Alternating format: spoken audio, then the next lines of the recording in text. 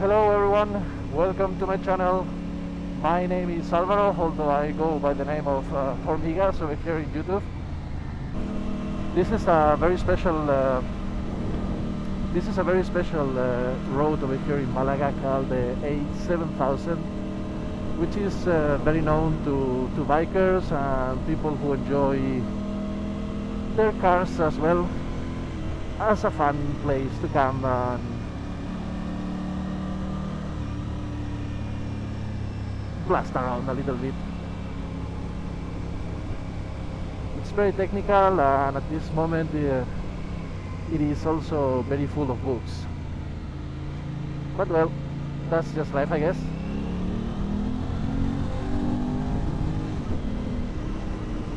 So, wow, I am getting massacred by books, holy shit. Today I wanted to talk a little bit uh, about the topic of whether if um, sport bikes uh, still make a sense in today's world and always talking uh, about them on the road and also how the Aprilia RS660 fits uh, in all of that. So I'm gonna start by defining a little bit what I consider a sports bike because um, some people I believe are kind of uh, similarly to the class on itself um, some people are kind of uh, very uh, radicalized on the stances on what is a sports bike and what is not a sports bike. To be honest, to some extent I don't blame them because we've had some weird times uh, with sports bike uh, in the last uh, 20 years or so where they kind of have been relegated to the 600cc class and the liter bike whereas before we had a pretty healthy small displacement uh, sports bike uh, market where you could find uh, bikes all the way from 50 cc's uh, with very tiny engines that barely made uh, 8 or 9 horsepower at this stock going through the 125 cc's 250s some 300s uh, 400s 500 and it's kind of strange because everything kind of has disappeared with time. We feel left with a market with uh, not all that many options. Also a market where many of the bikes uh, are competing uh, in the same category and therefore kind of being a little bit too alike there's a whole segment of uh, 600 uh, cc bikes that were generally described with the F stance uh, or, or, letter which were a little bit more relaxed uh, sport bikes. Those are pretty much gone. There still is some stuff uh, kind of uh, on that range of things in the liter class but generally I would say that on the sub liter class they're pretty much all gone. I think I, have I've made all this huge uh, go around basically and I still haven't said what I consider a sports bike. For me a sports bike is irrelevant uh, to the power. A bike that seeks uh, both proficiency on the performance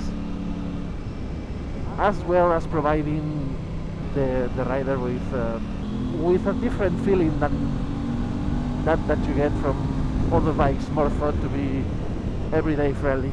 For me it's not just about the the performance. It is also about how the performance is delivered. And quite honestly on this uh, description you can fit a whole lot of, uh, of bikes which classes a little bit with what I said that the class is uh, a little bit empty now. But I have a point I promise. I, I will eventually arrive to it I guess. It has to be said that many people only consider sports bikes uh, to those bikes that have a fairing but then some people don't consider a sport bike to this bike because it has this race clip-on so as I said the, the stances are kind of uh, very extreme. And some people seem to think that anything short of a race bike or something like an R6 uh, from Yamaha is just not a true sports bike. This is something that I've been said many times. Not a true sports bike. I think they're confusing what it, what a sports bike is with a, maybe a super sport, which kind of uh, gives away many of many things in order to be mainly effective on the track and not necessarily on the road. And I guess that if you believe that only super sports are true sports bike, then you have a point to some extent. But the thing is, sports bike is pretty much a broad term with non really defined lines. So saying that something is not a true sports bike is kind of yeah for me while I might say it about some bikes I will always try to give some context on why I say that and I don't know I don't think that race handlebars alone especially if they're this small I don't know. I consider the Kawasaki Ninja 650 as a, a sports bike. It is kind of tamed one that is true but it is a sports bike and it does have raised clip-ons. Very raised actually and also very far back which helps uh, being upright. But it's still a pretty decent sports bike and it handles really well on the twisties and it's a good bike. It's a little bit too boring for me like too sensible. And that fits really nicely with the point that I wanted to make which is that for quite a while there has been only very sensible sports bikes. And I would fit bikes like the Ninja 650 all the way to the CBR 650R that category and then there has been like the true super sports that don't necessarily make a lot of sense for the road but are really effective on the track. In between there has been a gap that is exactly where sports bikes used to be around before.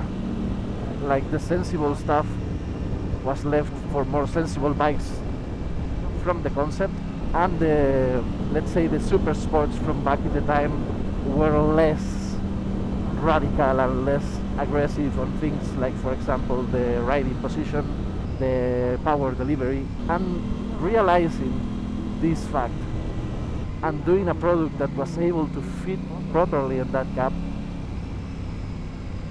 while keeping the the soul of the brand is why this bike is so important to Aprilia and such a good thing in my opinion. We'll have to see if the market agrees with me. It's probably a little bit too early to, to tell. And I believe this bike does it really well. It does it really well because it has more adjustment than the sensible bikes, the sensible sport bikes, which is able to change it uh, a little bit from being maybe softer to be more aggressive. And in this range of adjustment, you cover brilliantly this gap that you have and that we have been talking about before. Some people will never forget this bike for only having 100 HP. Some people will never forget this bike for having the race clip-ons. If they ever did, they would simply put it away and get a custom triple clamp where you can place some proper clip-ons like they would say. Some people will never forgive the fact that the adjustability is not as much as it could have been and I might be one of them. But the fact is that Aprilia had a goal and they achieved it so well. If, the, if this bike fits with what you're looking for it is a really good bike with a little bit of the typical Italian flavor which means uh, some things will be annoying some things will not work quite as you expected them.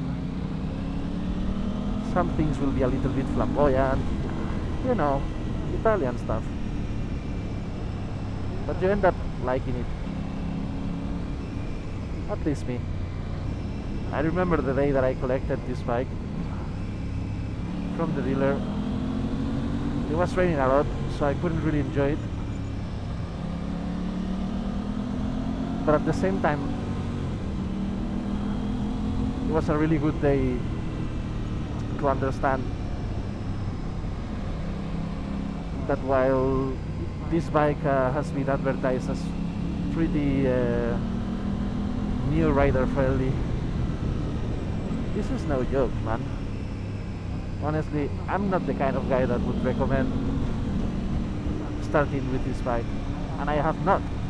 Some people have already asked me on my channel and on my RS660 uh, videos whether if I think this is a good first rider uh, bike. I just don't really think so. Look the bike is just way too fast.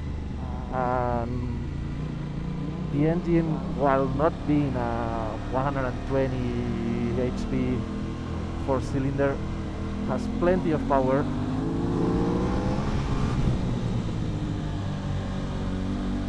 To get you in trouble. And I find it uh, to be a bike where you kind of have to move around quite a bit to get the full performance. And that's something that new riders don't quite do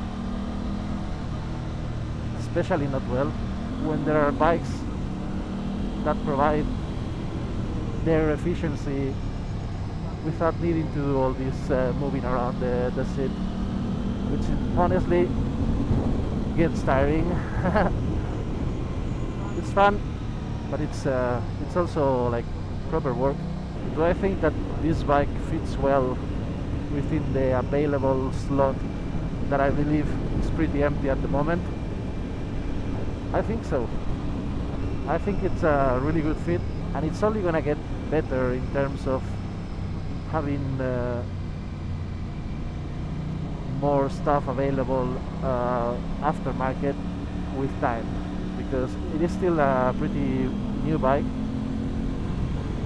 And while some of the bikes have been around for really long and have a really big catalog of uh, pieces available it's not the same on this bike but it will eventually be. So well we're pretty much done with our route. We're also pretty much done with the topic that I wanted to comment. I would like to say you guys thank you for spending another 15 or 20 minutes with me. Appreciate it a lot. Don't forget that if you like this video giving me a like over here. In YouTube helps a lot uh, with uh, YouTube's algorithm. And I want to wish you a really nice time see you on the next video. Bye bye